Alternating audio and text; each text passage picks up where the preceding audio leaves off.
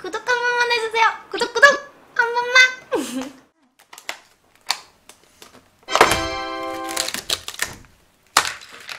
살 안 찌는 체질이냐고?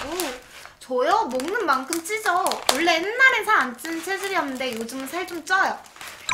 저요? 거의 방송할 때만 먹어요.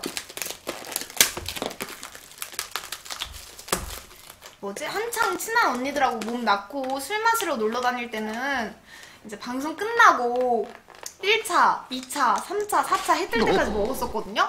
그래서 집에 와서 이제 언니들하고 같이 막, 막, 이 곱창까지 시켜가지고 마무리 4차까지 먹었었는데, 그래가지고 제 살이 엄청 쪘다니까요, 진짜?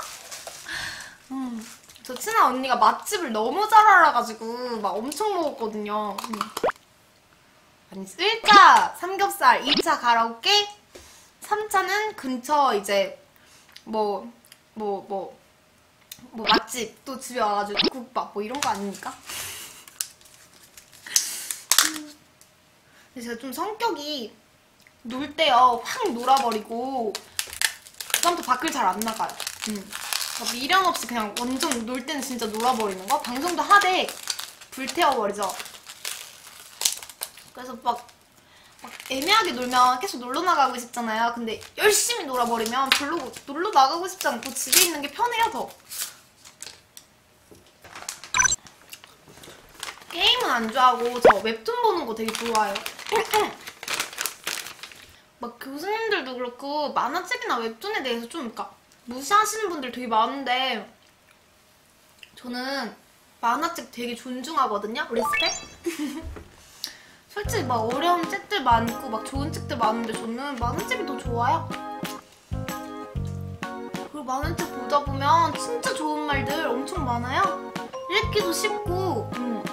그래서 굳이 막 억지로 어려운 책 읽는 것보다 그냥 자기가 편하고 자기가 재밌는 만화책 읽는 게 더 재밌지 않아요? 어차피 사는 것도 퍽퍽하고 힘든데 왜 쉬는 시간까지 어려운 책을 읽고 교양을 쌓아야 되는지 모르겠어요.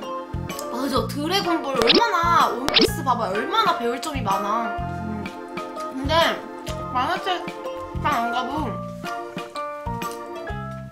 네이버 웹툰 다음 웹툰 네이트원도 있고요.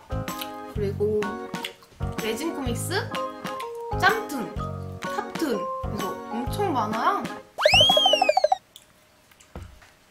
만화책은 침대에서 봐야 된다고 맞아.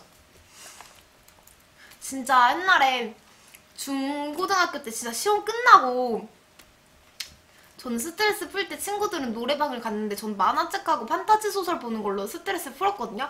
그러니까 시험 기간 전까지는 빡세게 공부를 하고 끝나면 이제 만화책방에 가가지고 이제 용돈을 받잖아. 성적별로 용돈이 틀렸어요. 그래서 용돈 받은 거 충전을 해. 만 원을 충전하면 만 이천 원이 충전이 된단 말이에요. 그럼 거기 있는 판타지 책 다 싹 끌고 와가지고 막 연애 소설부터 해가지고 다 봤다니까요. 음, 쩔었어. 근데 어렸을 땐 용돈에는 한계가 있잖아요.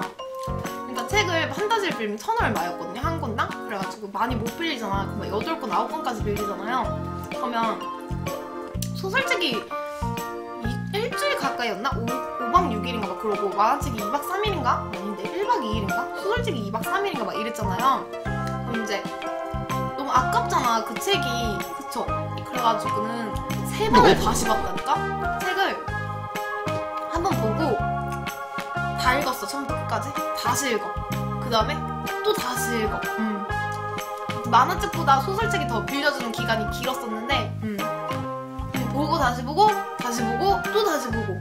그래서 이 책을 보면서 소름이 끼쳤던 게 분명 내가 처음에 읽었을 때 그 단어를 못 읽었었거든요. 없었었던 글이 두 번 읽고 세 번 읽고 하면은 보이는 거야. 그 내용이 틀려지는 거예요. 좀 난독증이 있어가지고 보고 싶은 것만 보거든요. 그래서 분명히 내용이 없었는데 어 여기 있네